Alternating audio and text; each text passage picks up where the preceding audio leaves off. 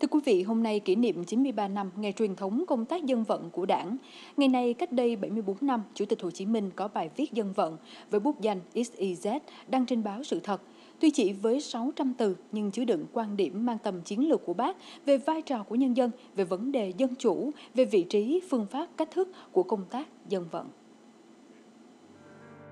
Nước ta là nước dân chủ, bao nhiêu lợi ích đều vì dân, bao nhiêu quyền hạn đều của dân – công việc đổi mới, xây dựng là trách nhiệm của dân.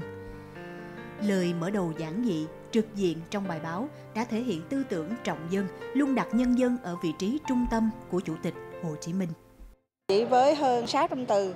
à, nhưng mà chúng ta cũng đã thấy rõ cái sự quan tâm của bác à, đối với công tác dân vận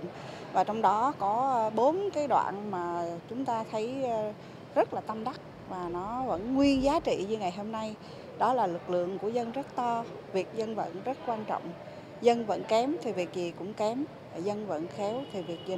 cũng thành công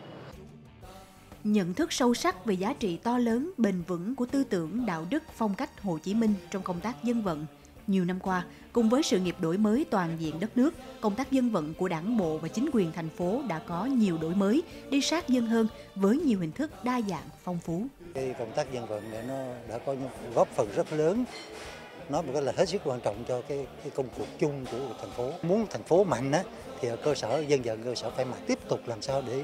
trang bị cho anh em làm công tác dân vận ở dưới những kiến thức để mà đi vào quần chúng. Phải biết là gần dân à, lắng nghe dân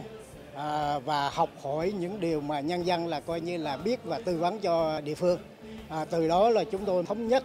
à, những cái nội dung để chúng tôi là hành động. Chúng tôi à, có một cái quan điểm là nói ít làm nhiều và mang lại hiệu quả lợi ích cho nhân dân mà nhân dân đã thấy những cái việc làm của chúng tôi và đồng thuận ủng hộ cho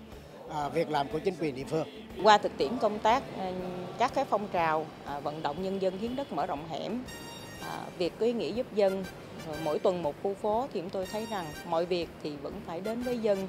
à, vẫn phải chia sẻ với dân giải thích cho dân hiểu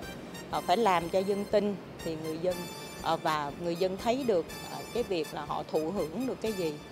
thì chúng ta sẽ thành công trong các cái công tác đó có thể nói ngay từ khi hình thành công tác dân vận đã được dẫn đường bằng tư tưởng lý luận đúng đắn của chủ tịch hồ chí minh